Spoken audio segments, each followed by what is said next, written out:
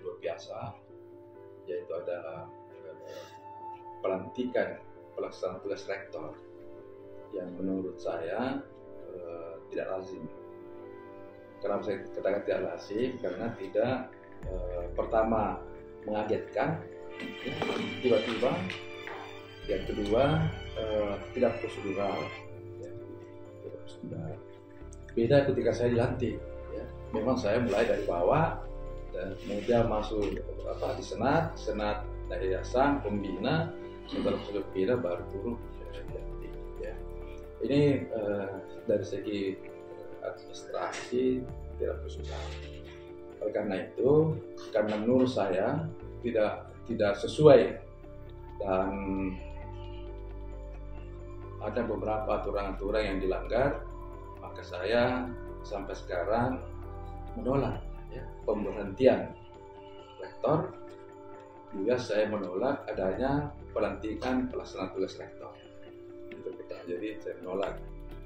Oleh karena itu, karena saya menolak, maka saya akan menempuh jalur hukum.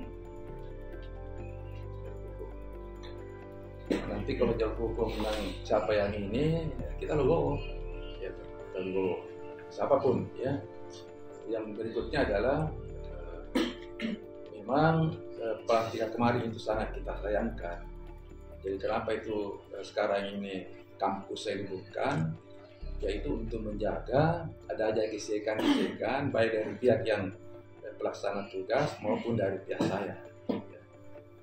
Itu itu intinya. Jadi menjaga stabilitas kampus karena saya khawatir nanti ada yang mensusupi ya, menyusup masuk akhirnya apa yang terjadi lebih parah lagi. Makanya sekarang ini alhamdulillah tenang-tenang saja. Karena kita harapkan UMI ini eh, tidak boleh sambil menunggu eh, apa namanya proses hukum, ya, proses hukum. Nah, ini juga kita sangat mengharapkan sebenarnya, eh, soalnya ini UMI ini kan eh, perlu kami tahu bahwa eh, UMI ini adalah perguruan tinggi eh, di mana pemiliknya itu adalah wakaf masyarakat, ya, milik umat Islam, milik umat Islam. Karena dia milik umat Islam, bukan milik pribadi. Oleh karena itu, maka seluruh warga masyarakat Islam wajib menjaga UMI dan kita seperti itu. Kami di sini bertahan karena saya menganggap bahwa eh, saya masih sah, ya.